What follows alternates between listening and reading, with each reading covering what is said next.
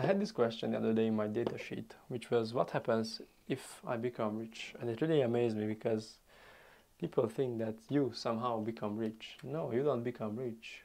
You just don't become rich. You have to attract.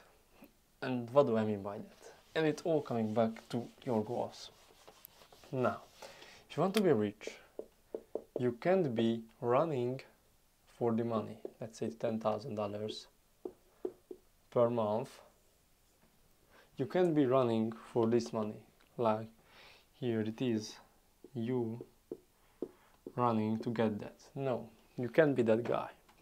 You have to be the guy who develops themselves and them will attract the money.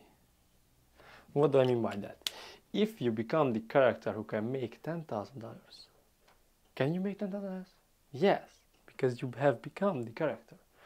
But if you're running after the $10,000 without doing anything, will you become the person who is making $10,000? I don't think so. What you need to do is attract by creating the character who can make it happen. And that's all how you become rich. So people have to give up this false reality of, yeah, just become rich. No, you will not become just rich. You have to work for it, you have to sacrifice, and you have to be good in creating goals which are real and achievable for you in the long and short term. For me, I have a long-term goal. Long-term goal, which is I want to become the best at content. And I have a short-term goal that I want to create my community, or this is a short-term goal. I want to create a community where I teach people how to create good funnels and how to convert your content, your traffic from content, how to get traffic. Because I have generated $10,000 from my content, so I can teach you some things here and there. And um,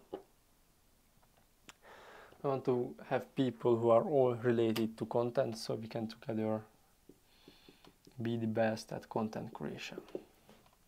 So yeah, this I just wanted to say this because people mess this up.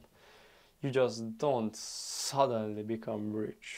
You can attract, but you will not suddenly happen to be rich. That's not how it works. So yeah, understand this. See ya.